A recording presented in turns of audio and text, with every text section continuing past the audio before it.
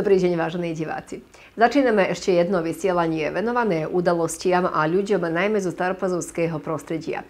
Koniec týždňa priniesol 14. regionálny hospodársky veľtrh, ktorého sa zúčastnili aj poľnohospodársky výrobcovia, no my sme tých navštívili aj v poli pri lámačke kukurice. Tiež predstavíme laureáta ceny Ondreja Štefánka, ktorá sa v tomto roku dostala doktorovi Jánovi Kišgecimu. Budeme hovoriť aj o mladých, úspešných staropazovčadoch, tiež o aktivitách v miestnom odbore Matice Slovenskej a v spolku.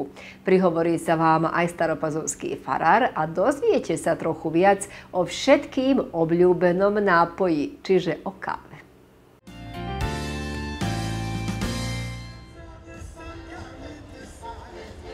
Posledný septembrový deň bol v komplexe pazovských bazénov medzi Starou a Novou Pazovou otvorený 14. regionálny hospodársky veľtrh, ktorý trval dva dni. Veľtrh slávnostne otvoril podpredseda pokrajinskej vlády a pokrajinský tajomník pre urbanizmus a ochranu životného prostredia Vladimír Gálič. Návštevníci sa mohli predstaviť pri početných stánkoch, v ktorých vystavovali spoločnosti a výrobcovia z oblasti kovovej a plastovej galantérie, spracovania dreva, chemického priemyslu, IT vybavenia, stavebníctva, textilu a obuvy, potravinárstva, mechanizácie, poľnohospodárstva, turizmu, pohostinstva a gastronómie. O význame tohto podujatia svedčí veľký počet vystavovateľov aj návštevníkov. V celej obci pôsobí vyše tisíc spoločností a okolo 3,5 tisíc podnikateľov. Medzi nimi aj svetovo známe mená ako napríklad MTU Aero Engines, ktorý bol aj partnerom tohto ročného veľtrhu. Organizátormi boli Regionálna hospodárska komora Sriemu a obec Stará Pazova. V druhý deň podujatia bol najväčší záujem o sprievodnú akciu Veľtrh zamestnávania, ktorý už po 8 krát organizovali Národná služba zamestnávania, pobočka Sriemska Mitrovica a obec Stará Pazova. 24 renomovaných spoločností zo Staropazovskej obce malo v ponuke 350 voľných pracovných miest. V evidencii Národnej služby zamestnávania momentálne je okolo 1300 nezamestnaných zo Staropazovskej obce.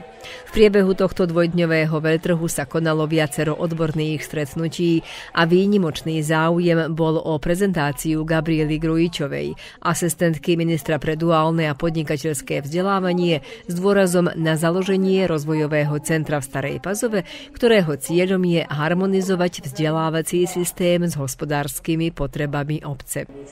Veľký bol tiež záujem aj o stretnutie poľnohospodárskych výrobcov s predstaviteľmi odborných služieb o výrobe a predaji malého množstva potravín živočíšneho a bylinného pôvodu, ktorí sa zaujímali o možnostiach a najmä zákonných predpisoch o tom, ako aby sa ich výrobky regulárne dostali na trh s potrebnými certifikátmi.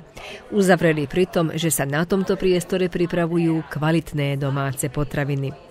Účastníci a návštevníci tiež mali možnosť počas tohto veľtrhu pozrieť si v otvorenom dvojposchodovom autobuse obec, najmä jej priemyselné zóny, ktoré sa rozprestierajú na rozlohe 1600 metrov štvorcových. Staropazovskom chotári sa začali lámačky kukurice od rodov kratšej vegetácie. Skončený je zber soje a slnečnice a v Delta Agrare už posiali aj repku olejnú, tiež začali sa prípravy na sejbu jačmeňa. Dážď v polovici tohto týždňa prerušil začaté jesenné práce a poľnohospodári sa netešia z toho, lebo bude zle vplývať na vlhkosť zlatého zrna. Lámačky v tomto roku meškajú okolo 10 dní v porovnaní s minulým rokom, najmä kvôli neprajným poveternostným podmienkam, aké boli v priebehu výrobného cyklu, začnúc od chladného počasia v čase sejby po veľké horúčavy v lete. V staropazovskom chotári sa začal zber zlatého zrna kratšej vegetácie. Taká bola situácia, že tohto roku meška vegetácia asi dva týždne, takže v Pazovskom chotáre sme podmienky nám dovolili pred tromi dňomi, že by sme počali robiť. Takže, čo povedať, nie sú vaš najlepšie, idú od 4 do 5,5 tónov po katasárskom jutre. Takže budeme vidieť, ako odrobili sme mali mali broj katastarských jutár, takže budeme vidieť, ako to ešte dopadne do konca. Tak vám takto poviem, že som zadovoľný. Znamená, rok bol, vy vieme sami, aký bol horúci, bez dažďa, no tak sme mali tie spršky v júli, tých 200 litrov po kvadráte, e to nás spasilo. S lámačkou som počal e, 3. september, bol som počal lámať kukuricu, tu FAO grupa, čo sa vraví 500-600, e, za to, že to vozím domov do Čardaku.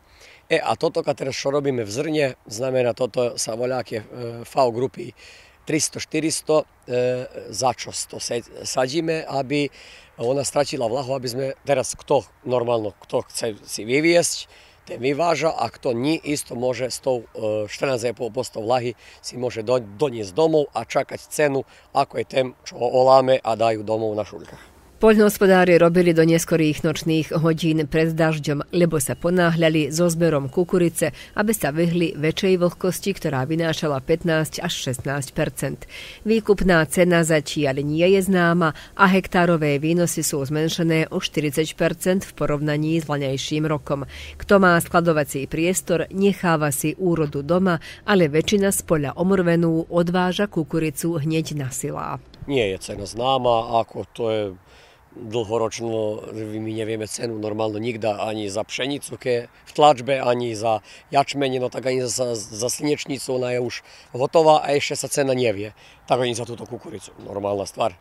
E teraz, kto robí tak, kto robí tak, no tak môžem vám povedať, že týchto dňach, ajde, 3 dní na zadok sme počali s mrvačkou, ale vlahy nie sú tu čo sa vravia v juse, znamená tak 15, 15 aj pol do 16 posto vlahy tie FAO grupa 300 sú. V Pazove tuto máme pár väčších, ktorí si urobili podmienky preto, takže cenu ešte nikto nevyšiel, všetci, všetci chcú dostať kukuričku či sojku alebo ako a potom sa už dohodní. No, vyjdu s nejakou cenou aj to tak bude. E, vo vašej domácnosti koľko ste mali hektárov, pod, e, čiže ktoré plochy pod kukuricou v tomto roku? Pa je zbog samého plodoredu trećina, trećina, trećina, takže trećina bola soji, trećina kukurici, toľko aj slnečníka, takže tých nejakých 40 hektárov, 45 sa urobí. Technológia ide napred, dopredu, takže všetci už pomaličky všetko menej a menej lámu kukuricu na šuľkách, takže ako aj my dnes, ide na, na zrne, jednoducho sa odmrví v poli aj potom sa, alebo voľa, niekto si zmiestní doma, kto má možnosti, kto nemá, ten vyvezie na silos a potom to už ide svojím tokom, ako má ísť. Ako je to konkrétne vo vašej domácnosti? V našej domácnosti je tak, že pred asi pár rokov sme prestali lámať na šuľkách.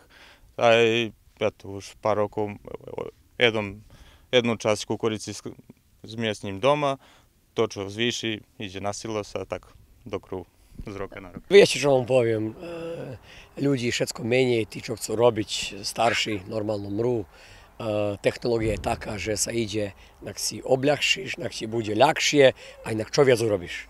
Lebo ty, keď ideš lámať, ty lámeš dve žinke, tri žinke denne, no tu musí byť prevoz, myslíte mať 3-4 prikolice, 5, myslí byť doma aj tá deda, aj mamika, aj sused, aj švagor, aj strýko, aj tak, aby sa to robilo. No takto keď nám nedačím nikto, jednom kombaji, jednom vozi, alebo ako vám poviem, e, chytrejšie si urobíme. Kombaj, tak povieme, keď sa láme, urobí 3 žinke denne a tento urobí 25. Takže znamená sme chytrejší, čo sa vrají. Život je taký. Život je zrychlení, chytrý, chytro sa žije, ako čo vidíte sami, takže uh, aj táto naša podopríroda ide v tom rytme. Zber kukurice sa začal aj v Delta Agráre, kde skončili so zberom slnečnice a soje. Zasiali repku, olejnú a raž a teraz súbežne s kombajnami do polí vchádza aj mechanizácia pre prípravu sejby ozimného jačmenia a pšenice.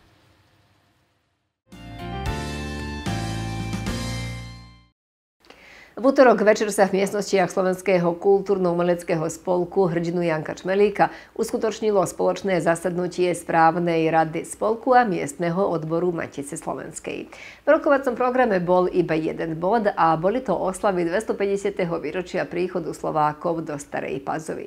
Ústredný program bol v sobotu večer a príspevok o tomto pripravujeme na budúci týždeň. Dnes sa však dozviete, ako sa v spolku a v MOMSE toho času pracuje a aké sú plány pre nasledovné obdobie. Po dlhšom čase uskutočnili sa schôdze správnej rady Slovenského spolku hrdinu Janka Šmelíka a miestneho odboru Matice Slovenskej. Bolo to vlastne spoločné zasadnutie a stretnutie s jedným vodom rokovacieho programu, čiže pozornosť bola venovaná oslave dvom jubileám. 250 rokov príchodu Slovákov do Starej Pazovy a 100 rokov založenia Združenia pazovských žien. Vedúca tohto združenia Anna Horvátová si spomenula na začiatky a aktuálnu situáciu. Vlastne to bol spolok slovenských a československých žien, tak sa volalo, keď bol založený. No, teraz sa my menujeme Združenie pazovských žien. V roku, keď oslavujete toto významné jubileum, koľko Združenie pazovských žien má členiek? No tak máme takých 35, ktoré sú aktívne a je to, ktoré sú také mimochodom, prídu, nie sú vždy tu s nami, ale striedajú sa. Tak, do 40 žien je to. Korona vo veľkej miere vplývala na aktivity v Pazovskom spolku. Plánovaná oslava príchodu Slovákov do tohto mesta sa presúvala na vhodnejšiu chvíľu, avšak dvere spolku neboli úplne zamknuté. Niektoré aktivity boli realizované. Vieme, že 2020 rok bol 250. rok od príchodu Slovákov na tieto priestory. Bolo dohodnuté a zaplánované, že celý rok bude v znamení toho veľkého jubilea a nám sa podarila iba jedna manifestácia uskutočniť a bola to promócia knihy 245 rokov našej základnej školy. Žiaľ, potom sme boli zatvorení, pretrvávalo to dlhší čas. E, keď ide o aktivity spolku a MOMSu, sú veľmi zredukované, ale snažili sme sa dodržiavať sa všetkých opatrení, ktoré predpísal štát. V prvom rade, aby sme zachránili zdravie všetkých nás. Aktivity v spolku bežia, nie v takom objeme, ako sme si zvykli. Folklórny súbor sa začal stretávať, tí najmenší ešte nie, ale chcem veriť, že aj ďalej sa táto činnosť rozprúdi a že sa nám podarí prekonať túto koronu. V priebehu leta folklórny súbor klasy, detská tanečná a spevácka skupina žien zúčastnili sa v programe slovenských národných slávností a na tých boli aj pazovskí matičiari, ktorí sa tiež stretli po dlhšom čase. Naozaj táto situácia, aká je teraz v našom štáte, aj vôbec e, na celej Zeveguli, usilovali sme sa robiť toľko, koľko sme mohli. Čo znamená, že nemôžeme to urobiť nejakú paralelu s tými rokmi, keď sme naozaj robili, keď sme sa schádzali každý mesiac. Teraz sme to mohli urobiť každé tri mesiace, aj to ani všetci neprišli. Lebo napríklad účinkovali sme na tých slovenských slávnostiach, kde boli všetci povolaní, ale každý mal obavu, aby prišiel z členov. Jedine, hádam, tá spevácká skupina, lebo aj ženy sú členky, normálne všetky, ktoré sú zo Združenia žien, sú členky aj Matice Slovenskej v Starej Pázove. Takže môžem povedať, že oni brali účasť na tom, brali účasť aj na zasadnutí, brali účasť aj na večernom programe, e, potom tiež e, na bazáre tam. Môžem vám povedať, že bolo to pekne, pekne účinkovať, ale každý mal nejaký nie že strach, ale voľa čo to bolo v človeku, že áno, hádam sa mi nič nestane, takže mnohí neprišli, takže aj tie slávnosti boli e, množstvo ľudí, nebolo toľko ako po tie roke, ale my sa usilujeme v Starej Pazove robiť to, čo môžeme. Ako aj dnes večer, keď sme sa stretli, dohodli sme sa, že by sme sa stretli všetci spolku, aj členovia Matice Slovenskej, aj vedenie spolku. Takže sme to spoločný taký, také zasadnutie urobili a vidím, že sa nám to podarilo. Aj pousilovali sme sa, aby ľudia sedeli trošku vzdialení, tiež aby No, si nastolili tie masky. Každý sa snažil robiť ako a koľko to podmienky dovoľovali a na spoločnom zasadnutí bolo slov aj o plánoch pre nasledovné obdobie. Keď ide o niektoré projekty, ktoré plánujeme, pravda, sú to divadelné projekty. Vieme, že divadelný Vavrin a 3 sú festivaly od národnostného významu. A Stará Pazova je vlastne divadelné miesto. Tak tu sa e, vždy uskutočňujú aj tie divadelné festivaly. Keď ide o 3 čiže detské divadla kvôli tejto dobre známej situácii, Slabo sa pracovalo, vlastne nebolo e, možnosti pracovať na škole, ale predsa máme pár divadiel, ktoré sa prihlásili na túto prehliadku. Keď ide o divadelný Vavrín, tiež máme asi divadel, 10 divadelných predstavení. Malo by to byť koncom októbra alebo začiatkom novembra ale e, my to plánujeme, znovu povedať nemôžem, či sa to uskutoční alebo nie. Budeme sa snažiť, aby sa uskutočnilo, aby sa tá kontinuita nestratila. Možno to bude takto, ako sme si zvykli, čo pravda chceme, alebo bude nejaká online verzia. No, všetci staropazovčania, ďakujúc vám, budú oboznámení o týchto aktivitách. Viem, že Združenia žien tiež e, plánuje určité si výstavy. Spraviť tiež e, sa plánuje jedna kniha krojov. E, MOMS má naplánovanú prednášku o významných ľudí, ktorí poznačili obdobie za 250 rokov, ako tu Slováci žijú. Ale hovorím, všetko sú to plány, ktoré sa budeme snažiť uskutočniť. Musíme sa pousilovať, aby sme sa my nestratili takto, lebo vidím, že sme sa tak, proste v tejto pandémii sme sa odsudzili. Hľadíme len televízory a keď na čím bole kde príď na to zasadnutie, tak každý, že áno, nemôžem, alebo bojím sa. Takže očakávam, že plány sa nám hádam, a to nie sú ani také veľké plány, že sa nám plány splnia, lebo sme očakávali, že by sme, e, keď sme sa už presťahovali do Slovenského národného domu, hore na poschodia, totiž tu, tu sme robili kanceláriu, že by sme tu ešte mnoho, mnoho mm, prác urobili, aj že by sme vydali ešte knihy. Po vydanej publikácii Nezábudky Ľudmily Hurbanovej, autorky Kataríny Verešovej, MOMS teda plánuje pokračovať s vydavateľskou činnosťou. Očakávam, že ešte aj toto, čo by chcel aj Janko Horvát o staropazovčanov, o prvých e, osídleníkov, ktorí prišli z Oselenča sem, totiž to celé rodiny, celé zádrugy, ako to pazovčania voľa kedy žili. Hádam sa nám aj to podarí, ale či sa do kraja roka podarí, to už neviem. Takže to nie sú také ani veľké plány, ale sú to e, veľmi veľké financie. Takže očakávam, že a možno aj tá kniha do kraja roka uzrie slnko sveta, ale neviem povedať presne, ale hádam do jary to bude. Takže to sú už nám plány za idúci rok. Oslavy dve a pol storočia príchodu Slovákov sa vlastne začali v Lani prezentáciou knihy 245 rokov Slovenskej pazovskej školy autora Jána Horváta a v znamení tohto jubilea, ako aj storočnice Združenia pazovských žien, budú všetky ďalšie programy do konca roka. Plány a želania sú, len nech to dovolí zdravotná situácia. Staropazovčania iste dobre poznajú meno Andrej Simendič. Už od detstva rád recitoval, pekne písal, výborne sa učil a povyhrával mnohé súťaže. Aj nedávno sa mu podarilo vyhrať súťaž a to je veľký úspech, pretože išlo o medzinárodnú súťaž na Slovensku, do ktorej sa zapojilo okolo 140 účastníkov a Andrej bol z nich úplne najlepší. V zlatom pásme získal prvé miesto. Vybrali sme sa na školský dvor strednej školy aj za Andrejom, aj za jeho profesorkou Slovenčiny. Je to súťaž, e, teda už 14. ročník tejto súťaže ktorú vypisuje Slovenská akadémia vied e, v spolupráci s základnou školou Milana Hoďu a my sme sa náhodou dozvedeli tak, že Národnostná rada, ktorá je aj hlavným našim patronátom týchto hodín, e, nám poslala výzvu a my sme sa tak prihlásili, no, e, písali aj druhí žiaci, ale tiež práce sa nám nezdali potom také až, že by to mohlo byť. Andrejova bola výnimočná naozaj, aj my sme sa rozhodli ju poslať. Ani sme nečakali, že to tak bude dobre dopadne, že Andrej obsadí až to, tú cenu Zlaté pásmo, takže myslím si, že dobre dopadlo.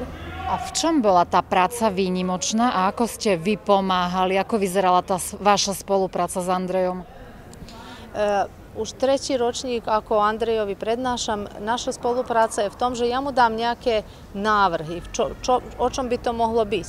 Ale Andrej je hlavne e, je taký, že akceptuje moje návrhy a vsunie niečo svoje, takže je to taká dobrá kombinácia. A ja som mu len navrhla, že o čom by mohol písať, ale som mu nepovedala, že téma je, téma bola ako vnímať svet otvorenými očami. A on si to rozmyslel tak, že bude písať o e, aktuálnej situácii. Venuje sa tej téme aktuálnej situácie a on vám aj sám viac povie o tom, že dobre to dopadlo. Táto korona niečo aj svoje dobre. Takže priniesla to dobre v ňom, vyšlo to najavo aj v rámci tejto práce. A okrem tej súťaže vy Andreja poznáte už tretí rok, možno aj dlhšie a on povyhrával už aj všelijaké iné súťaže. Čo, si o čo nám o ňom prezradíte? Aký je žiak a v čom vidíte v ňom ten najväčší talent?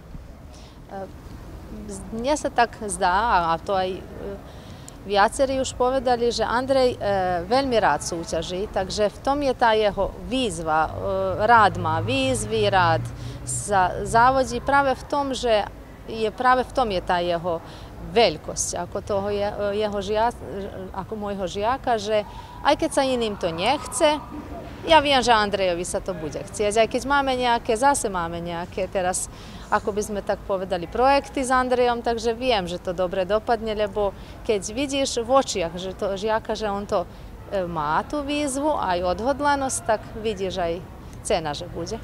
Tak to bola medzinárodná súťaž základných a stredných škôl, e, v ktorej účinkovalo okolo 140 e, žiakov, nielen zo Srbska, ale aj zo Slovenska, z Ukrajiny a tak ďalej. Téma bola, ako vnímať svet otvorenými očami. A z počiatku som nerozumel, čo to má vlastne znamenať. Ale po čase som pochopil, koľko ľudia berú nejaké veci ako samozrejnosť. Takže ja som sa, takže ja som viacej písal o tom. Napríklad písal som tieto aktuálnej situácii s koronou, pretože fakticky e, korona mi zobrala e, rok života. Takže som písal, ako som povedal, o tých e, jednoduchých veciach, ktoré z počiatku nevezíname ako niečo dôležité, ale keď nám to niekto vezne, vtedy pochopíme, koľko nám to chýba i koľko nám to znamenalo v živote. Jednu vetu opísať celú moju prácu je, že máme si viac uctievať každodenné veci. Že to, čo niekedy myslíme, že nie je dôležité, je veľmi dôležité. Ako ti pomáhala pani profesorka Vladimíra Havranová a koľko ti znamenala jej pomoc? tak jej pomoc mi veľmi znamenala. Ona mi pomáha v prvom rade tým, že verí do mňa a dáva mi silu ísť ďalej. Taktiež dozvedel som sa na jej, na jej hodinách, ktoré sú, myslím povedať, že sú veľmi zaujímavé a že skrz jej my si ešte stále zachovávame tú našu Slovenčinu. A ako si sa cítil, keď si sa dozvedel, že si dostal prvú cenu? Uh, tak ten pocit sa nemôže veľmi ľahko opísať. Uh, bol som veľmi šťastný, uh, ale aj prekvapený, že som ja od tých 140 uh, iných prácov, práve som ja bol medzi najlepšími. Andrejovi Simendičovi gratulujeme a som si istá, že s týmto menom sa ešte neraz stretneme a že ho v živote čakajú veľké veci a veľa výnimočných úspechov, tak mu držíme prsty. Gitara je brnkací strunový hudobný nástroj a podľa názoru niektorých historikov vznikla v stredovekom Španielsku.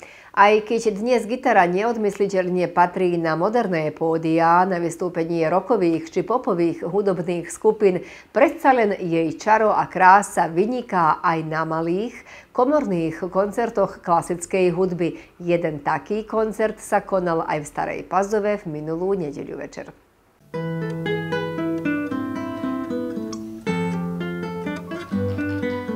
Jesená hudobná sezóna začala pred mesiacom výnimočným koncertom Gudača Svetok Georgia, ktorý sa konal pod holým nebom pri chráme svätého Iliu v Starej Pazove. V nedeľu 26. septembra podvečer sa v predsále divadla uskutočnil druhý hudobný večierok v rámci tejto sezóny. Išlo o gitarový koncert Anny Havranovej zo Starej Pazovy.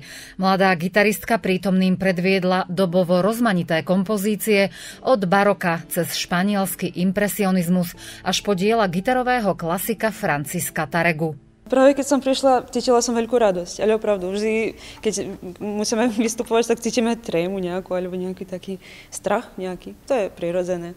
Uh, veľa toho samozrejme u mňa taktiež to existuje, ale ja som cítila ako prvý pocit najsilnejší radosť, že opravdu konečne zahrám pred ľuďmi, ktoré poznám, ktorí mňa poznajú, ktoré mám rada, ktorí so mnou vyrastali.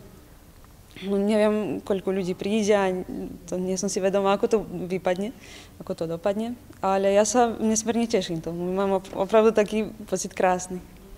A okrem toho, že študujete v Novom sade, pospomínajte nám ešte nejaké vaše aktivity a plány do budúcnosti. Študovala som bakalárske štúdium v Prahe, ktoré som ukončila a potom som sa presunula sem do Nového sadu. Obyčajne sa ma pýtajú prečo, ako, ale to tak, také boli okolnosti a ja som sa sem presunula a som e, taktiež rada, pretože som v triede výborného profesora Srediana Tošiťa, pána, s ktorým teraz pracujeme a ďalej sa rozvíjam. Plánujem samozrejme ďalej pokračovať štúdiu, najprv je to priorita ukončiť si štúdium. E, a ešte stále učíte aj vo Vojke? Áno, ešte učíme vo Vojke, samozrejme to je proste časť všetkých nás hudobných interpretov alebo hudobníkov, uh, že si svoju, svoje remeslo rozvíjame, v tom sa učíme celý život, ale v jednom momente začíname učiť najmladších, prenášať to najmladším a potom aj starším. Ako sa my rozvíjame, tak aj môžeme iných rozvíjať. To je krásne v tomto remesle a umení. Koncert si prišlo vypočuť určite... publikum širokej vekovej kategórie a medzi prítomnými nechýbali ani tí najbližší. Nemam reči da opišem to, mislim da to majka rečima ne može opisati. Mislim, to je tu. Je li imate tremu i vi? Pa ja nemam, ja sam navikla, Igor, ispratila sam Igora, mislim, jako često na koncertima i njegovi nastupe, a sad je došla Ana na red. Ja nemam tremu i prosto došla sam samo da uživam. Anu poznam osobne, bola mi žijačka. A, rád, že dosiahla to, čo aj súca. To sme od nej očakávali. Veľmi talentovaná bola z prvé roky hudobné som ju ja pripravovala, lebo už starší bračok chodil na, do hudobnej školy a som si všimla, že je veľmi talentovaná, svedomitá, zodpovedná súca. Tak som trochu s ňou robila aj potom si to všimli aj profesori, keď sme išli skladať skúšky do Nového sadu. Aj tak sa na to usmernila, aj som rád, že dosiahla toto všetko. A ako sa cítite dnes večer? A veľmi som rád, že som prišla, aj že má svoj koncert, aj pomohli mi syn, aj moja kolegyňa. Aj tak som rád trošku aj výjsť, aj počuť a ma teší, aké moji žiaci dosiahnu to, čo si plánujú. Koncerty v rámci jesenej hudobnej sezóny organizuje Stredisko kultúry Stará Pazova v spolupráci s hudobníkom Ľubinkom Lazičom, ktorý je riaditeľom súkromnej hudobnej školy vo Vojke, kde Anna Havranová pracuje ako učiteľka hry na gitare. Osobne sa teda dobre poznajú. Ovo je prvý koncert da Ana svira pred Pazovačkom publikom. Ana je završila konzervatorijum u Pragu, Ana je završila Manojlović u Zemunu, Ana puno vežba, Ana puno radi, a nikad nije svirala koncert u Staroj Pasvi. I onda se rekao, Ana, sad je vreme da iskoristimo dok, dok nas korona još nije pozatvarala sve, nadam se da neće, da smo završili sa tim, da se predstaviš pred pazovačkom publikom. Ona je sada na, na master studijama u u, u Novom Sadu, a eto večeras će predstaviti deo svog ispitnog programa. Ďalší koncert klasickej hudby v rámci jesenej hudobnej sezóny je naplánovaný na koniec októbra a tí, ktorí prídu na koncert, budú si môcť vypočuť flautu a klavír.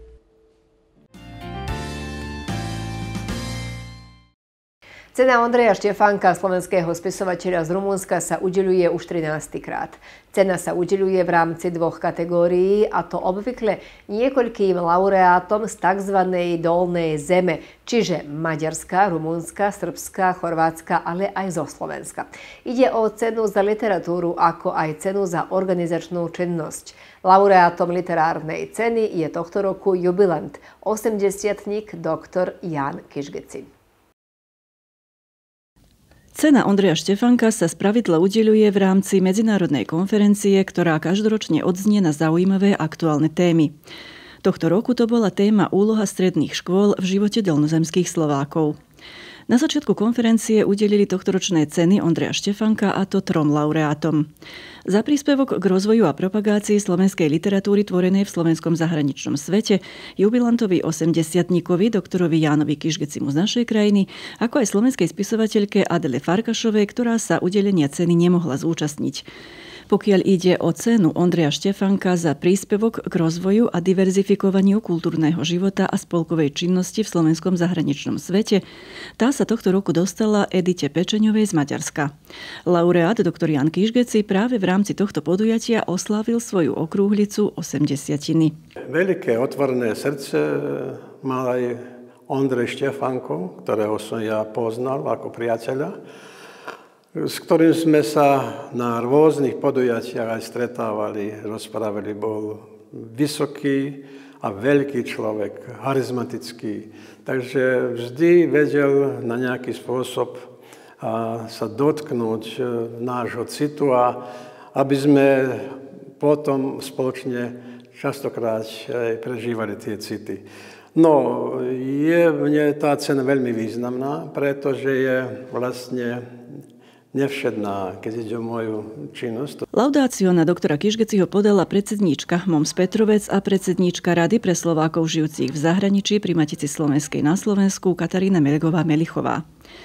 Vedec, pedagóg, publicista a kultúrny diateľ dr. Jan Kišgeci svojim celoživotným dielom zadlžil nielen tunajšiu Slovač, ale zaslúžil sa aj o niekoľko kapitálových projektov v rámci vtedajšej Jugoslávie, keď bol okrem iného priekopníkom a zakladateľom Ústavu pre chmeľ, cirok a liečivé rastliny nedaleko Petrovca, Zväzového ústavu genetických zdrojov Jugoslávie či prvého a jediného poľnohospodárskeho múzea v Srbsku v Kulpíne. Ja považujem pána profesora Kišgeciho za skutočne excelentného jednak vedca, ale aj kultúrneho diateľa. A všetky jeho knihy, ktoré sú e, literárneho žánru, počnúc chmeliarskými pohľadnicami e, konope, konope zelené, konope, e, objektív na poludníkoch, potom tie vydania, ktoré pripravoval s našim známym maliarom Martinom Jonášom o kukurici. Doktor Jan Kižgeci sa podľa vlastného vyznania počas celého života riadil výpovedou. Chválu zožneš slovom, ktoré sprevádzaš činom. Tých činov bolo počas jeho života skutočne mnoho, za čo mu tunajšia verejnosť môže byť vďačná.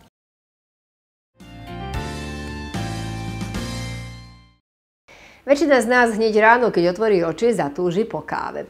Tento nápoj tak obľúbený, ktorý rozvonia celým domom, je synonym aj pre pohostinnosť, kamarátenie, oddych. A káva má aj svoj deň. Je to 1. oktobrový. Nezáleží na tom, akú kávu máte radi. Espresso, filtrovanú, domácu, čiernu či akúkoľvek inú.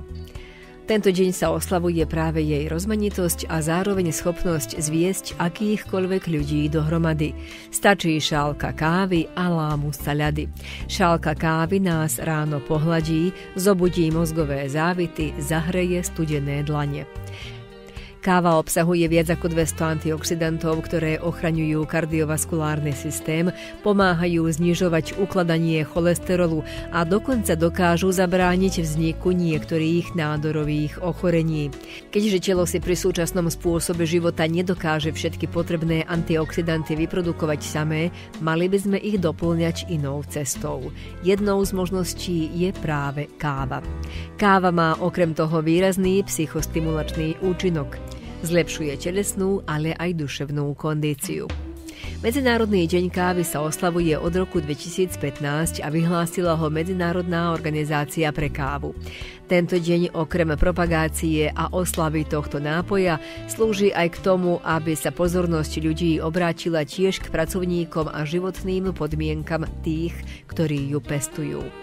Základ kávového priemyslu tvoria dva druhy kávovníkov. Druhy arabika a robusta, ktoré sa od seba líšia kvalitou, chuťou aj tvarom zrn. Arabika je považovaná za kvalitnejšiu, má kyslejšiu chuť a podlhovasté zrno. Robusta je na druhej strane horkejšia s okrúhlejšími zrnami. Na Medzinárodný deň kávy mnohé kaviarnia oslavujú čierny mok. Snažia sa tak vzdať hold káve a dostávať ju stále bližšie k ľuďom, ako čo bolo aj v Starej Pazove, keď sa konal festival kávy. Ak ste na tom neboli, vedte, že vhodná chvíľa na kávu je vždy. Možno práve teraz.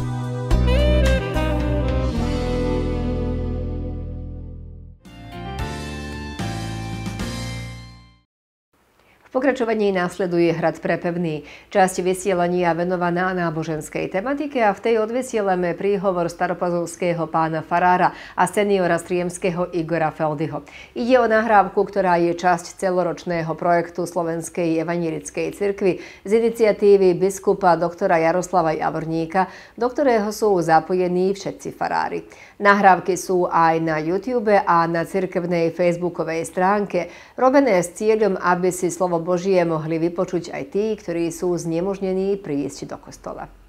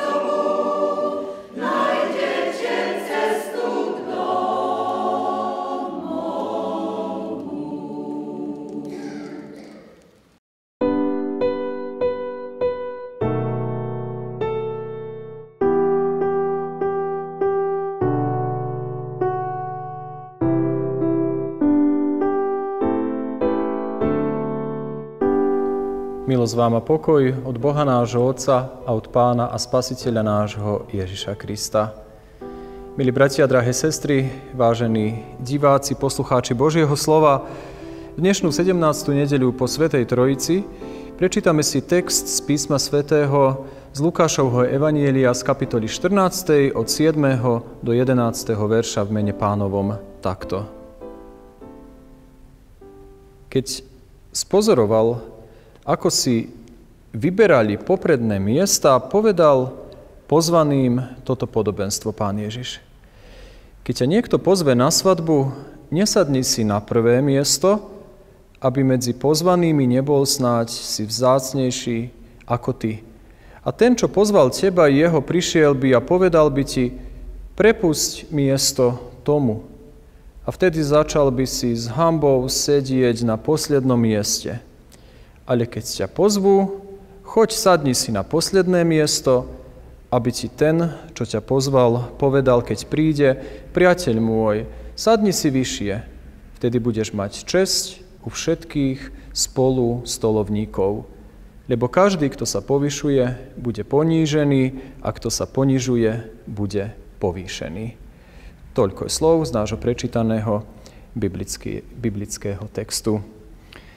Bratia a sestry, Pán Ježiš nás pozval do všelijakých slobôd. A jedna z týchto slobôd mohli by sme charakterizovať ako skromnosť, ako nevystatovanie sa, ako pokora. Ľudové porekadlo nám hovorí, plný klas sa k zemi kloní, prázdny k nebu dvíha. Pokorný sa pokloní, pyšný hlavu dvíha. Pokora znamená sloboda v Kristu. Iných si vážiť viac než seba by mala byť charakteristika kresťana. Iným dávať hodnotu v našich rozhovoroch by mala byť normálna vec pre rozhovory veriacich ľudí. Seba sám, nedaj Bože, pochváliť alebo chváliť alebo hľadať chyby na iných ľuďoch by sa nesmelo stávať u kresťanov. Úspešní ľudia, hovoria psychológovia, nehovoria o iných ľuďoch, ale hovoria o ideách.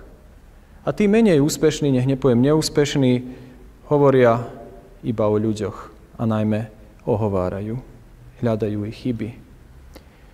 Pán Ježiš nám dal príklad svadby, aby ozrejmil tento duchovný princíp pokory a práve v tomto nachádzame slobodu. Keď sa vieme ponížiť, pokoriť, lebo Pán Boh sa postará za všetko v našich životoch. Dnešná nedeľa nás vedie k slobode povolaných v Kristovi. Buďme slobodní od toho, aby sme vždy rozmýšľali, čo si iní ľudia myslia o mne. Žime život hodný, mena kresťan, v pokore, vážme si iných ľudí, dávajme im hodnotu a budeme šťastní a slobodní. Nech sa tak stane v živote každého jedného z nás. Amen. Bratia a sestry, po tomto zamyslení nad Božím slovom zohnime naše hlavy a v duchu a v pravde sa takto pomodlíme. Duchu Svetý, posvetiteľ náš, spravuj prosíme naše srdcia, aby sme dnes Tvoje slovo nie len počuli, ale aj prijali a ním si svoj život polepšili. Dávaj nám z milosti neustále ducha pokory a tichosti, aby sme sa znášali v láske a pestovali jednotu ducha vo zväzku pokoja. Svojim duchom svetým nás veď tak, aby sme sa mohli Tebe ľúbiť v živote i pri smrti a to na česť a slávu Tvojho mena svetého, na večné veky požehnaného. A nech je sláva Bohu Otcu, Synu i Duchu Svetému, ako bola na počiatku, tak buď teraz i vždycky, i na veky vekov. Amen.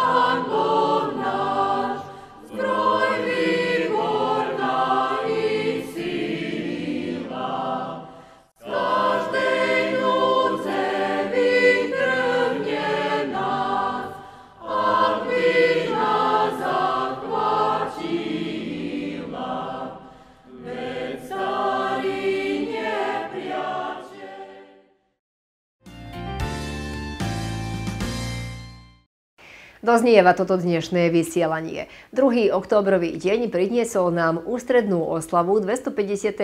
výročia príchodu Slovákov do Starej Pazovy a storočnicu Združenia pazovských žien. A ako tá dopadla, dozviete sa už o týždeň. Celý vlastne tento následovný týždeň bude v znamení detí, lebo sa oslavuje detský týždeň, tak početné aktivity vo všetkých školských a predškolských ustanovizniach. Určite, že aj naša kamera odsleduje niektoré z tých a už sa tešíme na to nové stretnutie na budúcu nedeľu. Všetko dobré a dovidenia.